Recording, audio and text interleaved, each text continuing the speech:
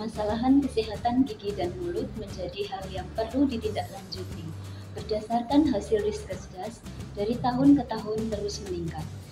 Salah satu penyakit gigi dan mulut yang cukup tinggi adalah penyakit periodontal, di mana populasi yang rentan adalah ibu hamil. Data di Puskesmas Ngeplak 1 menunjukkan bahwa kunjungan ulang ibu hamil masihlah rendah tidak sebanding dengan kunjungan ANC terpadu. Kemudian ditemukannya beberapa kasus ibu hamil dengan kondisi gusi bengkak hingga mengalami kesulitan dalam makan dan minum, serta adanya peningkatan kasus BPLR di wilayah Puskesmas kelas 1. Hal itu yang menatar belakangi saya, Dr. Gigi Nurliana Hastuti, kemudian memprakarsai sebuah program yang diberi tajuk Sagibu atau Sayangi Gigi Kegiatan-kegiatan yang dilakukan pada program Sagibu yaitu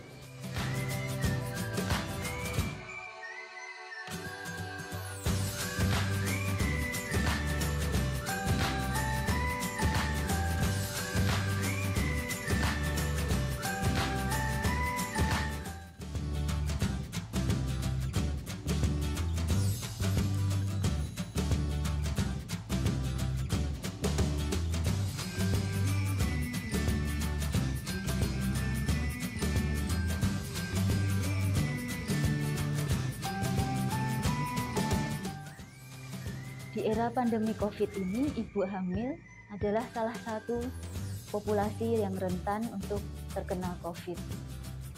Pada sebuah penelitian dijelaskan bahwa pada ibu hamil yang mengalami COVID meningkatkan resiko terjadinya BPLR. Demikian juga halnya dengan periodontitis pada ibu hamil. Hal itu juga akan meningkatkan resiko terjadinya BPLR.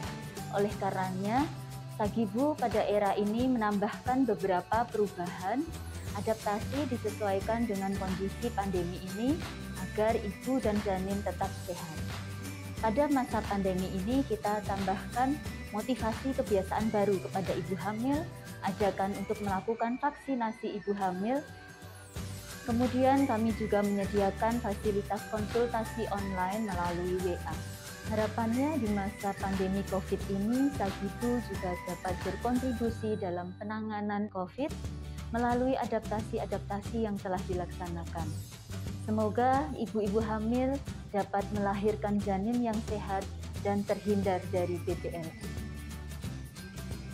Dengan bangga, kami memperkenalkan inovasi kesehatan gigi dan mulut yang dibawakan oleh dokter gigi kami, Dr. Gigi Nurliana Hastuti dengan judul inovasi Sayangi Gigi Ibu, Sagibu.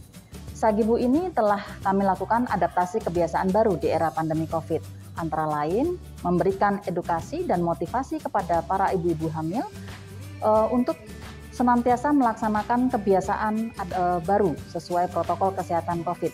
Yang kedua, dokter gigi juga uh, menganjurkan vaksinasi COVID pada setiap pertemuan melalui online. Yang ketiga, Beliau juga melakukan pemantauan rutin melalui Google Form serta konsultasi-konsultasi yang senantiasa dilakukan melalui online. Program Sagibu merupakan program inovasi dari Puskesmas Ngemplak 1 yang diprakarsai oleh Dr. Gigi Nurliana Hastuti. Program Sagibu ini juga sudah kami SK-kan lewat SK Camat Ngemplak nomor 34A garis miring SKC garis miring 2019. Program ini ditujukan bagi ibu hamil yang merupakan populasi rentan terhadap infeksi. Terlebih lagi di masa pandemi COVID-19 ini, ibu hamil memerlukan perhatian yang lebih. Kami dari Dinkes Sleman sangat mendukung program Sagibu ini. Ah, kesan dan pesan saya selama menjadi kader Sagibu itu sangat banyak, terutama dalam kesehatan gigi dan mulut yang tadinya tidak tahu menjadi tahu, Lalu kemudian uh, saya juga bisa mengedukasi kepada masyarakat mengenai kesehatan gigi dan mulut.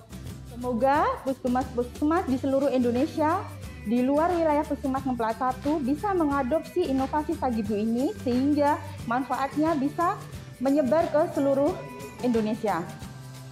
Dulu uh, saya berpikiran bahwa kesehatan gigi dan mulut tidaklah penting di saat kehamilan. Tapi setelah saya bergabung di Sagibu, semuanya mengubah opini saya bahwa kesehatan gigi dan mulut itu sangatlah penting bagi ibu hamil. Karena dengan gigi dan e, mulut yang bersih kita dapat mengkonsumsi makanan yang bermanfaat bagi janin kita. E, selama pandemi ini, kesehatan saya tetap dipantau melalui Google Form Sagibu. Saya, Bumil Sagibu. Saya sudah divaksin COVID-19. Saya Ripri Bidan Desa Bimo Martani. Saya Kasih Bidan Desa Sindu Martani. Saya April, PJ kelas Ibu Hamil. Saya Tina, Bidan Desa Unggul Martani. Kami siap mendukung Sagibu. Sagibu. Sayangi Gigi Ibu. Sehat gigi dan mulutku.